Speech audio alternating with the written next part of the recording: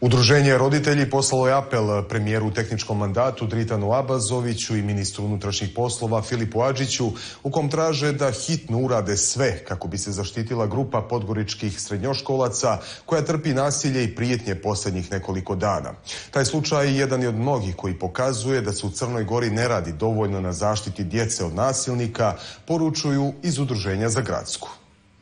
Tri učenika Podgoričke gimnazije već nekoliko dana na meti su više desetina vršnjaka iz drugih škola. Taj slučaj je posljednji u nizu koji treba da alarmira nadležne, poručuju iz udruženja roditelji. Nažalost i pored svega e, što se e, posljednjih mjeseci e, moglo čuti i u javnosti i kada govorimo o porukama koje su slate i o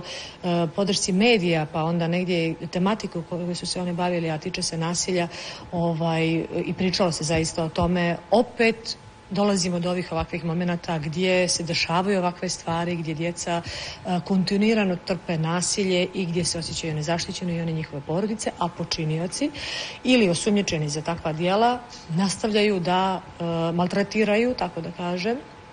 one na koje su se namjerili. Uprkos reakciji nekih institucija, one su bile spore i nedovoljno jake, navodi Mihajlović nije dovoljno brzo, nije adekvatno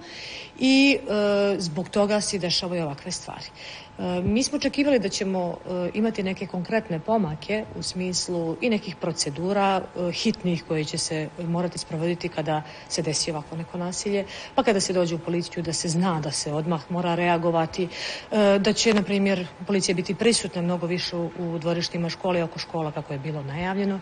da će i tužilaštvo imati mnogo više senzibiliteta za ove slučajeve, odnosno da će i tužioci brže reagovati. Očekivali smo i da će i škole negdje ovaj dodatno biti e, zbog svega što se dešava, a očekivali smo i da će porodice na prvom mjestu e, voditi mnogo više računa o tome kako se ponašaju njihova djeca. Dodaje da se mora mnogo brže reagovati. Ne možemo čekati da prođu dva dana da bi neko e, procijenio koja je to vrsta dijela, da bi neko zvao djecu na saslušanje, da bi